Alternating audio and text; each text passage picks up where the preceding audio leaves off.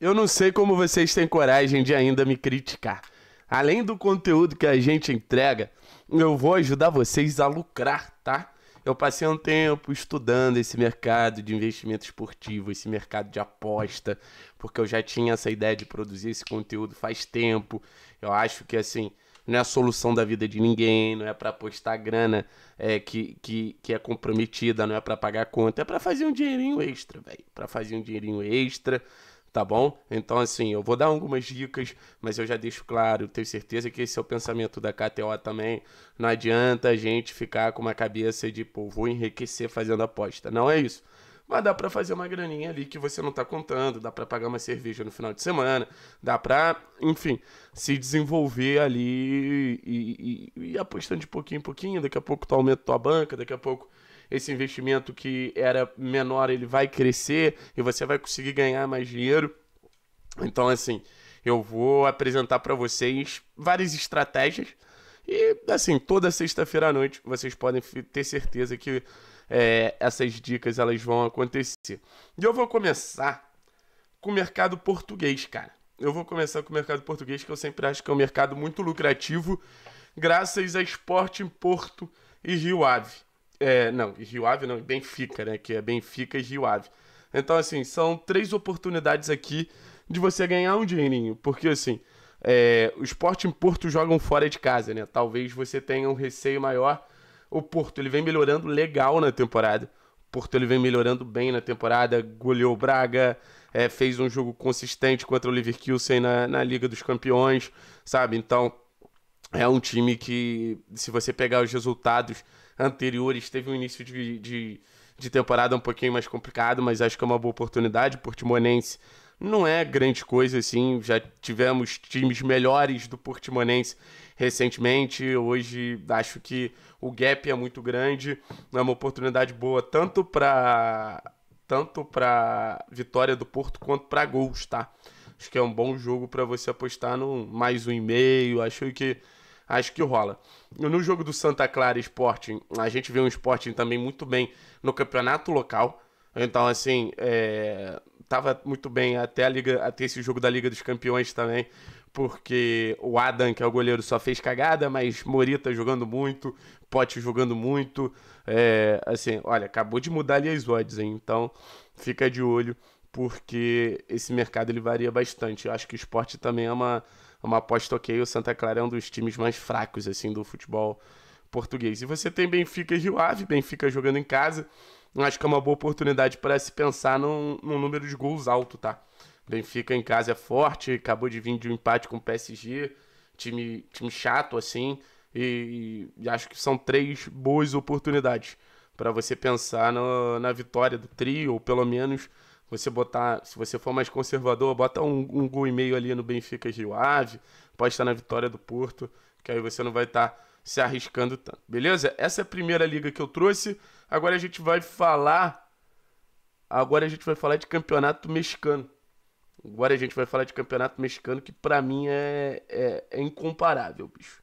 Para mim é incomparável é o campeonato assim mais mais prático para se fazer dinheiro. Então a gente tem é, Tigres e Necaxa.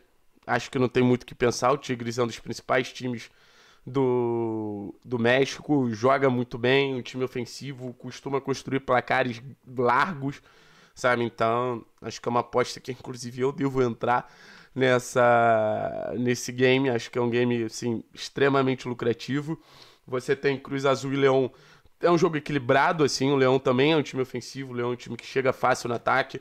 É, talvez assim, ambos marcam, pode ser um caminho aqui para Cruz Azul e Leão. Jogo que. A Liga Mexicana, cara, todo jogo costuma rolar gol, tá ligado?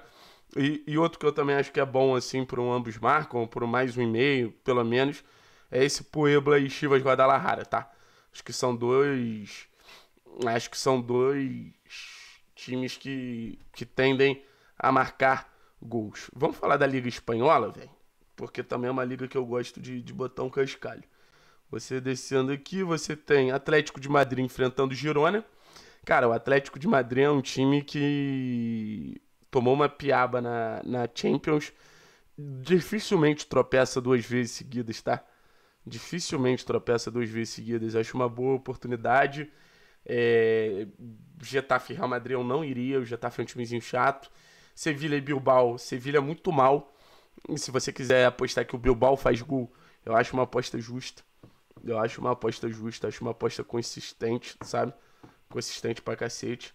E tem esse aqui que eu gosto também. Esses dois aqui, ó. Barcelona enfrentando o Celta em casa, provável vitória do Barça. Tá até numa odd boa pela discrepância dos times.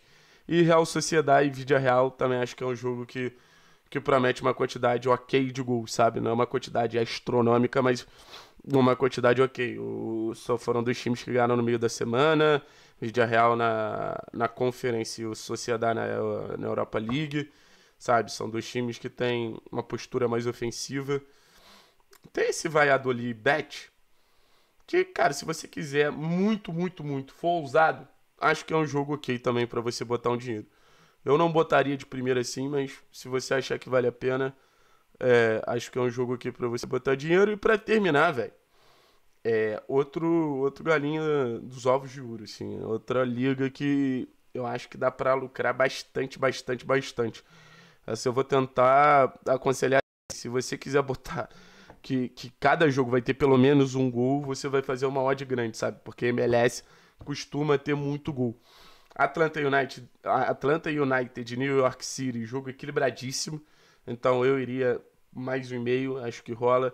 Chicago Fire e New England Revolution também é, é um jogo legal. Chicago faz uma temporada meio decepcionante, mas o New England é, um, é uma boa equipe. Tem, é, se eu não me engano, ali o Diego Rubio na frente, né? um, um, um atacante chileno bom de bola pra cacete. DC United e Cincinnati acredito que vai ter gol.